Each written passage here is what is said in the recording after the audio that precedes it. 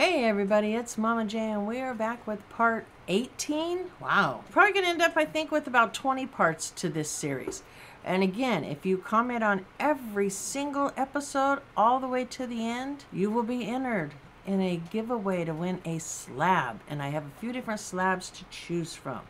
Once we get to the end, we'll be doing that giveaway. So make sure that you're commenting on all the videos. You don't want to miss one. All right, so let's go ahead and let's check out these about 15 comics and see if we have any keepers. I know last time we only were keeping one, but we're getting down to the bare end here. So first one we're going to show off is a Justice League of America. It's a pretty cool cover. I like when they do covers like this. I think they're pretty awesome and there are characters mixed in there if you can see them. So that's pretty cool. There's a Wonder Woman down there. Um, there's Aquaman, Superman, Batman, Flash, Green Lantern, yeah, it's pretty cool. Pretty cool cover, but not a keeper. Oh, and then we got a few more of these, which I know that I probably have the whole series, as I've said before. These are Gotham City Garage comic. Here's part five and six. So those are really cool. This one here, not sure about this one. This is three of eight, eight billion genies. I don't know much about this comic. I think I got it in a, in a mystery box myself. So that's pretty cool, but not a keeper. All right, off on to another Justice League. These are very busy covers. Still pretty cool, but not a keeper. These, are we going to find any keepers? Maybe not. Here's another Justice League. This is part 10. Again, pretty awesome covers.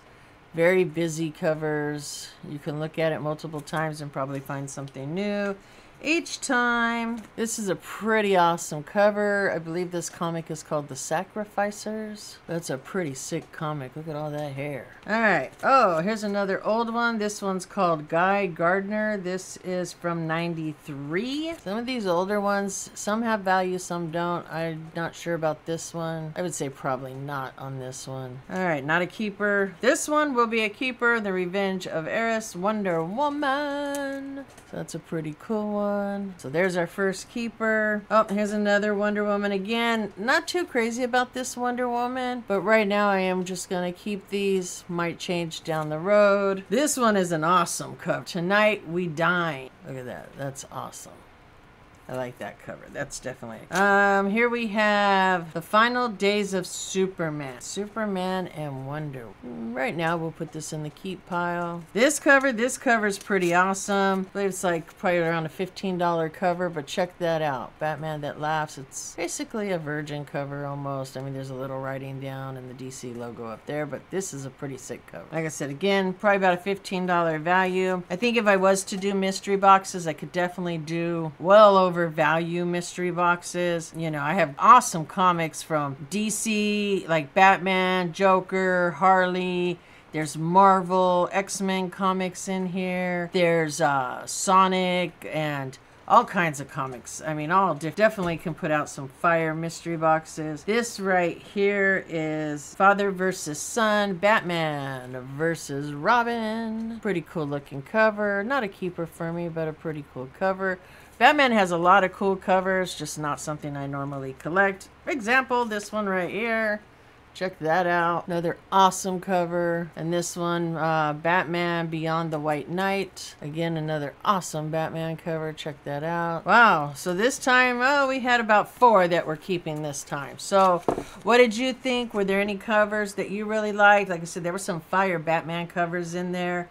I think for the four that I'm keeping, uh, my favorite cover would probably be this Wonder Woman one. But again, just trying to weed out that collection.